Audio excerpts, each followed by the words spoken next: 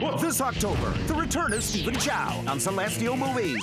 The irresistibly charming Stephen. Oh, He's a magistrate, a scholar, a secret agent, a kung fu master. He's all that and scads of witty quips this October, Monday to Saturday night.